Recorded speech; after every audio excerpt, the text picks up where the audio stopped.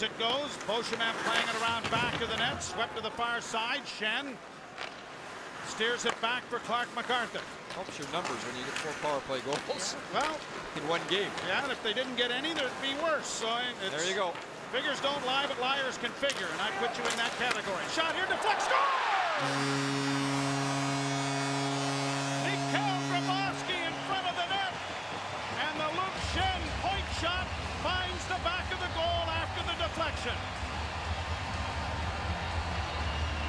And this redirected at least against Grabovski. Might have hit Kulemin as well on the way in.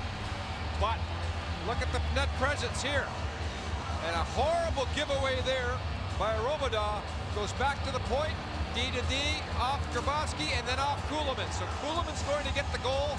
Robidas with the horrible giveaway. He had a chance to clear the zone. He didn't give Kulemin credit. There is the bad clearing.